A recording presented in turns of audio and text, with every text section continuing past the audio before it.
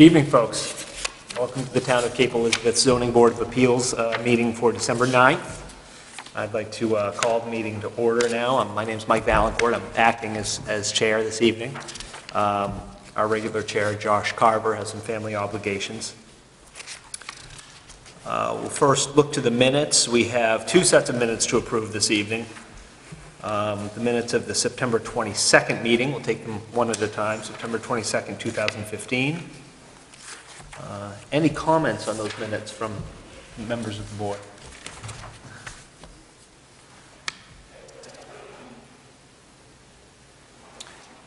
Hearing none, I'd uh, entertain a motion to approve the minutes of September 22nd, 2015. I make a motion to approve the minutes as they are. Second? Second from Michael. Uh, Any discussion? All in favor? Any opposition? Abstain, I wasn't here. Same here. And the approval carries. Uh, On to the mi- minutes of October 27th, 27th, 2015. Uh, I'd entertain a motion to approve those minutes. Move to approve. So moved. Second? We've got our second. Any discussion? Any revisions to the minutes? A little item of interest. Sure. Um, In one of the documents that was sent out in our package, the zoning bulletin, Yeah. there's a case in here in which the owner sought a variance for a setback. It- It was interesting because it was quite similar to the first item that we passed on. And the decision of the court, which reversed the lower court, held they couldn't have the variance for very similar reasons to which we held they couldn't have a variance. So if people didn't happen to notice that, it was, I thought it was kind of coincidental and intriguing. Worth a read. It's Great. only two pages long, yeah, it's worth reading. We'll take that as a point of information. We should all read our bulletins. Uh, Aside from that, any other comments or revisions to the uh, minutes of October 27th? Seeing none, all in favor of approving the minutes from the October 27th meeting? No, that's correct. Any opposition? We've got three in favor? Fourth in favor? I'm in favor. I'll abstain, I wasn't here. I'll abstain, I was not here as well, so uh, the motion carries.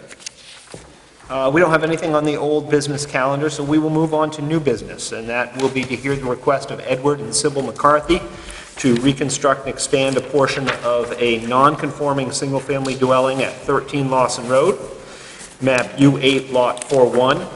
The applicants have a contract to purchase the property, and with that, we will turn it over to the applicants. Acting Chair Valencourt, board members, good evening. Stephen Moore here this evening with Ted and Robin McCarthy. We worked with them to understand the house and the design and the application and the process. And um, as I mentioned um, at the, ba- or as Ted mentioned at the back of the letter, we helped put the graphics and exhibits together. So I'm here tonight to just walk the board through this in a summary fashion. Uh, First point, though, Ted and Robin have purchased the property, so they now own it. Um, This is one of those properties in one of those great old neighborhoods in town that was built and laid out before there was zoning. The house was built, and then zoning came in, and the RA zoning progressed and consumed sort of the whole neighborhood in that area. And that first graphic, I've taken the graphics exactly out of your packages and blown them up. That outer orange line is that property configuration. That yellow line, sorry for the light faintness of it, but that yellow line is the setback, so you can see what that 30-foot setback does for creating a building window in the lot. So that, that inner yellow long rectangle really shows you that little over 1,000 square feet of buildable area that exists in there. So when Ted and Robin came to us and said, we need to solve this issue because we need to pick up a better living room, dining room arrangement, we want to get rid of the two-unit status that had been used as a two-unit, um, keep the bedroom count, maybe drop one bedroom, What we had talked about was making sure that we didn't get into and increase the nonconformity with respect to the side yard setbacks.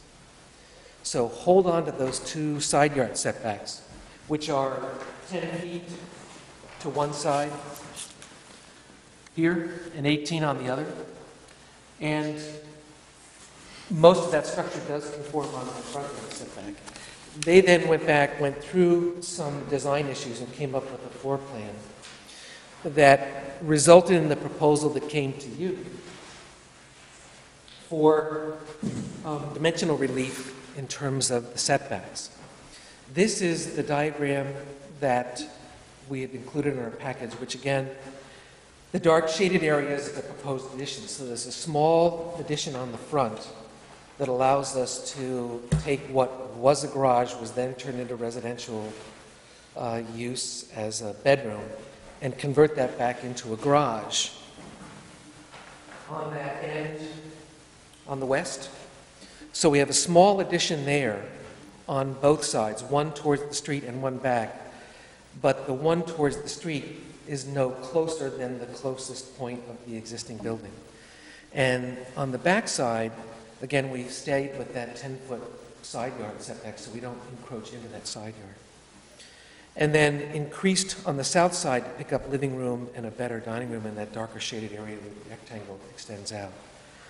And the whole gist of that sort of study and work through was to keep the square footage in that building modest, keep it in scale with this neighborhood, but make it function for them and work for them in terms of a layout. So what we've added in there in terms of total square footage is fairly modest. It's 796 square feet, something like that, in terms of total add-on to the building. Once we'd solved that, we knew we had to thread some other needles on this, which were the existing septic system. The existing septic field sits immediately south of the house, so we had to maintain our 10-foot setback off that, which informed some of that decision about keeping the addition limited 12 feet on the back. And the other piece was to go back and look at shoreland zoning, because a portion of this lot sits in shoreland zoning, so we are um, controlled by the shoreland zoning regulations. In this case, what was most pertinent was the percentage of lot coverage. And we've shown that 250-foot setback line, which cuts through the front of the house. So what we included in our package to you were these couple of diagrams that showed that we do not get any closer to the sidelines. We do not get any closer to the right-of-way line at Lawson, but we do expand to the south. But still, we are well away from that most southerly point of the the setback. The lot coverage in shoreland zone goes up to just a little over 17, I think it's 17.7 or 17.8%. The lot coverage outside the shoreland zone stays down below 13, so we conform with those lot coverage standards in those two areas. And we came away, after going through that design effort with them, feeling pretty good that we could go through and then meet the criteria that you apply when looking at this type of request for dimensional relief. The responses in our package, we included the exhibits that gives you context, and the responses in the package address the various criteria that you'll consider as you look at this. I think the three things that we talked about as a group that are most pertinent for us. When you look at the lots in this neighborhood, this is the narrowest lot and the longest lot. So it, it has some unique features to it in terms of the lot configuration that ended up resulting in a building window that looks like this.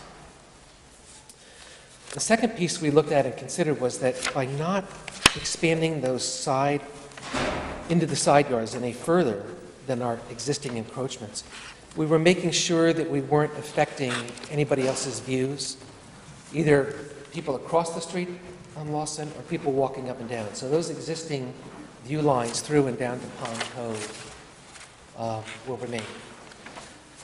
The third thing for us was trying to pull that building back to something that looked more like the building should look like from that era. So right now, there's quite a mix of windows.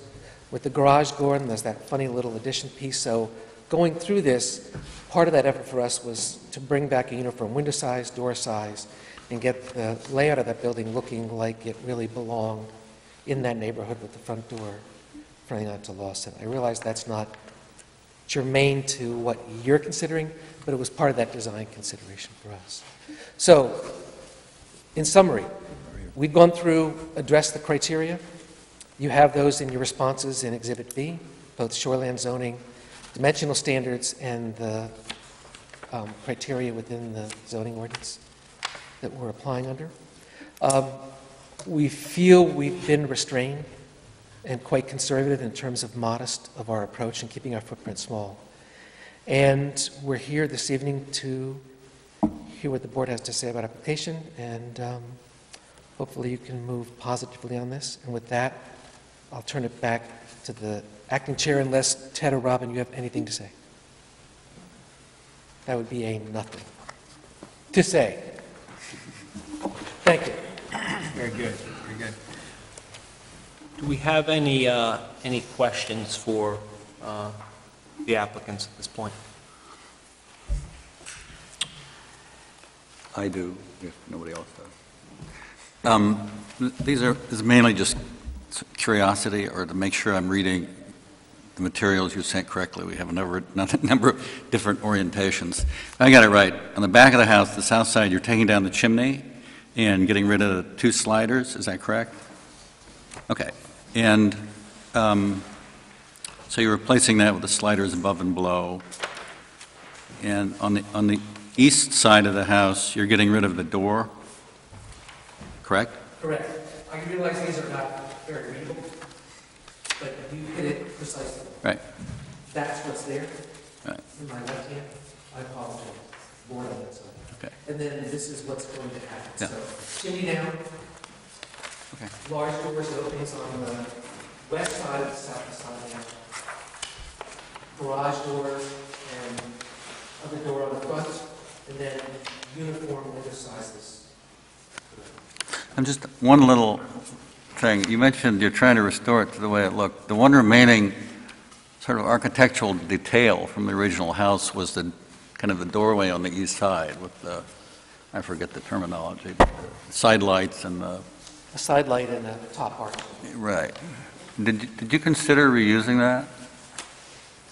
Um, We did not, because we weren't comfortable putting it onto the front because of the scale on that facade. But I don't know if Ted and Robin, if you had given that any additional, Well, it's not, it's probably none of my business, it's your design, but it just, it- as they say it, the other sort of remaining detail to me of the original house was the proportions, which I thought you did a wonderful job of preserving, sort of, in a sense. But thank you. I think the, that doorway is kind of nice. I mean, you could put it on the back, I don't know. Anyway, that's all. Thank you. You do have a doorway on the back also, as We do. Anyway, Thank you. Other questions?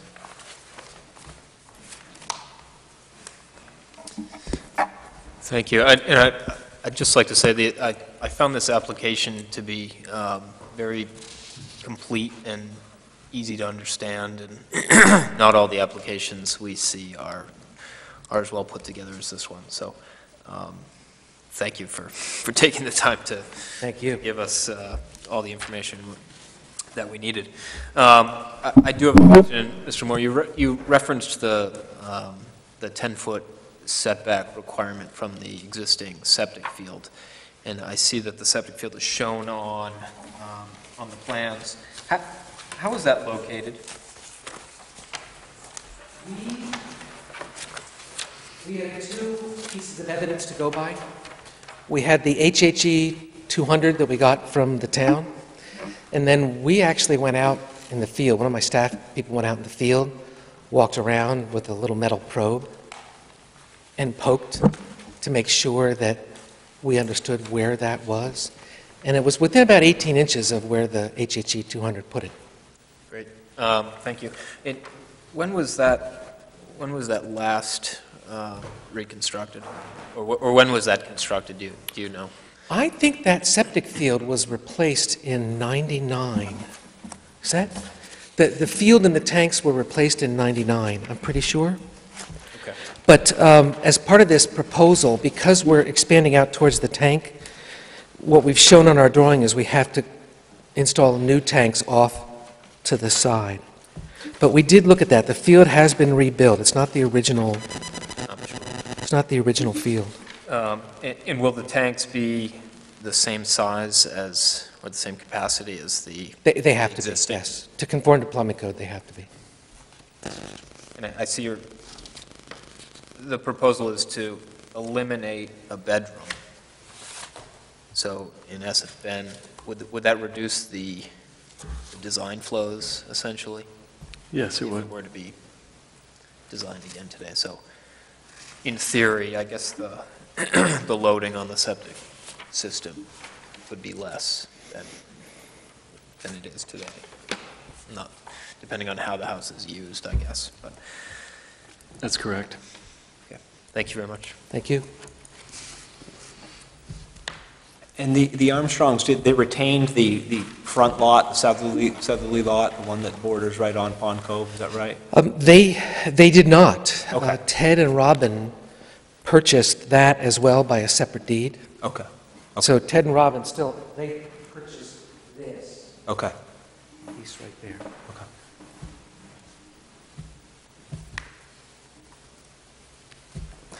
Additional questions for the applicant?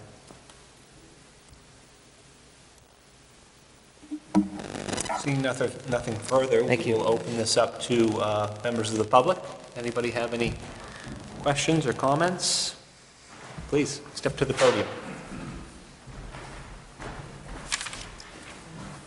Uh, My name is David Volin, and I live uh, at 17 Lawson Road, and uh, uh, the paper road is in between my house and what the McCarthys have bought.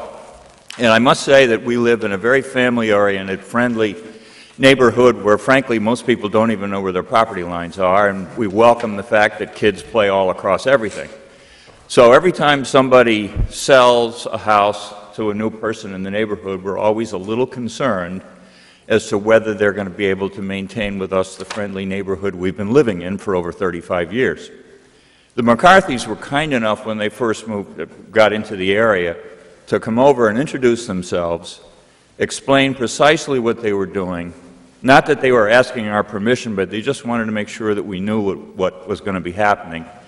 And personally, I really appreciated that, and these are the kind of neighbors that I think anybody would welcome. Thank you. Thank you, David. Any other comments from the public this evening? Ben, did you receive any submissions? Everything I received is in the packet. Okay, so no additional emails or letters or anything like that from any abutters? Right, well, with that, if there's no further uh, public comment, we will close the uh, period of- of comment, and we'll go ahead into uh, board deliberations.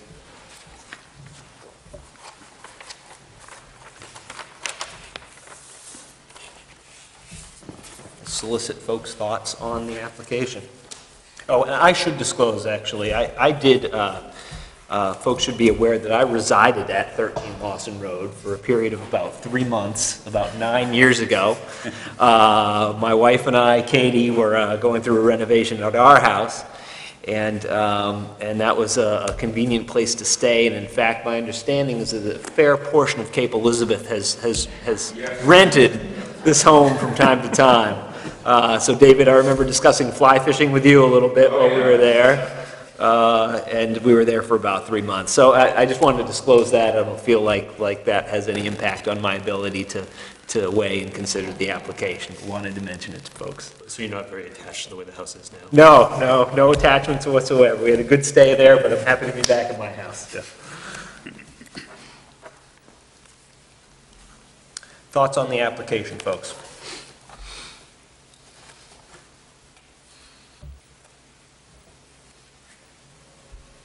Michael was saying, it- the application is pretty complete, it's quite complete, and I don't see any problem with it. I, I agree, uh, uh, echoing what these gentlemen have said. We, uh, this is a very complete application. It was great to flip through it and see all of our questions answered, see all the dimensions very clearly spelled out. Uh, You obviously went line for line and word for word through the ordinance and and addressed uh, the particular issues that needed to be addressed, and and uh, seems to me to be a a clean application and a request that fits within the parameters of our ordinance, so I'm I'm comfortable with it myself.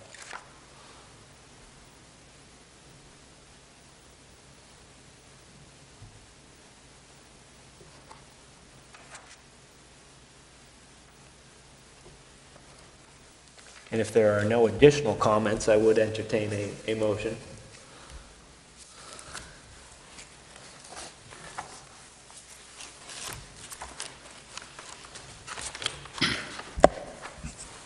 excuse me, Chair, not to get ahead of ourselves. Yes. A motion to approve the application or to go through the process of the variance criteria?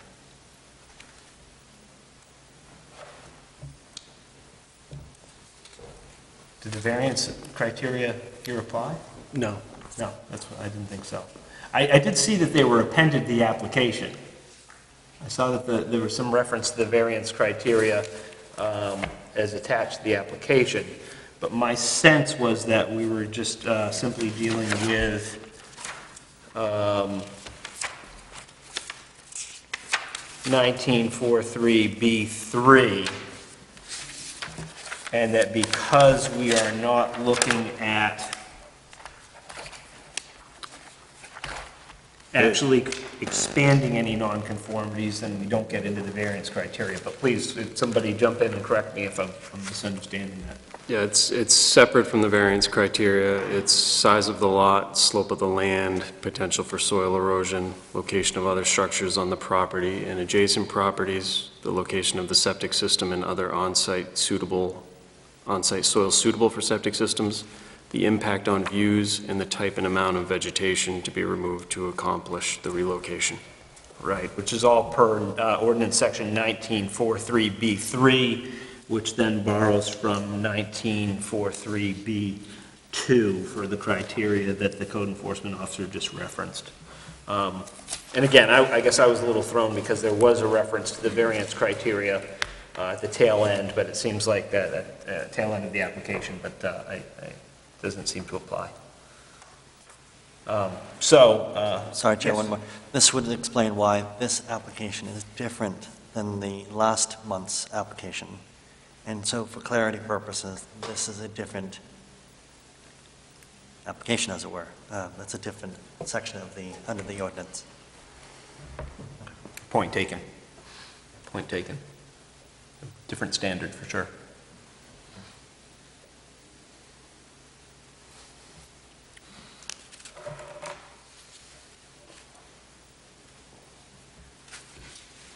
So to get back to the original question, are we ready to make a motion? Yeah, I think yes, unless anyone else. Unless there's any additional commentary, uh, I think it's that time.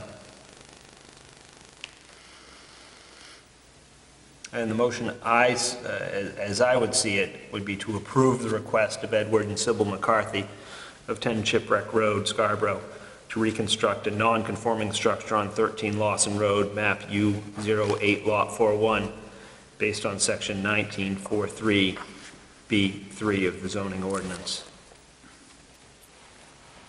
Chair, I would adopt that motion as my own. So moved. So moved. Second. Yes. And we we appear to have a question. Yes. Uh, If you would just step to the podium, please, it's just easier then for the public to actually hear what what that is. Well, I'm delighted to have at least a chance to uh, thank uh, everybody for the nice comments about our process of uh, going through this. Uh, We have purchased, and that is our address now, 13 Lawson.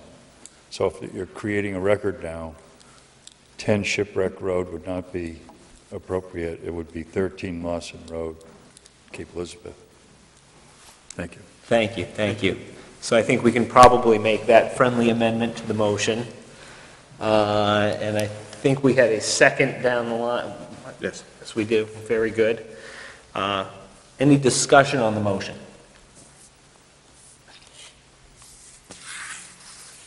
Uh, Seeing no discussion, all in favor of the motion? Any opposed? Right, so that is unanimous, the motion does carry. Thank you, Board, we appreciate it. Welcome, thank you. Uh, And this is where we get into the uh, findings of fact. I think I'm supposed to read these into the record, right, Ben? And you could, if you want, you can change that from purchase and sale to owners of the Gotcha. subject lot. Gotcha. Um, The findings of fact, uh, this is a request of Edward and Sybil McCarthy of 13 Lawson Road, Cape Elizabeth, to reconstruct a non-conforming structure at 13 Lawson Road, map U08, Lot 41, based on section 1943B3 of the zoning ordinance. Uh, Edward and Sybil McCarthy uh, do now own the property at 13 Lawson Road on the subject lot. The subject lot is a non-conforming lot in the RA zone, and it is in the Shoreland Performance Overlay District. The non-conforming structure is a single-family dwelling with an on-site septic system. Uh, The zoning board of appeals has considered the size of the of the lot, the slope of the land, the potential for soil erosion, the location of other structures on the property and on adjacent properties, the location of the septic system and other on-site soils suitable for septic systems, the impact on views, and the type and amount of vegetation to to be removed to accomplish the relocation. The proposed structure will not increase the nonconformity of the existing structure, and the proposed structure is in compliance with the setback requirements to the greatest practical extent. Uh, Do we have any additional suggestions on findings of fact from the board?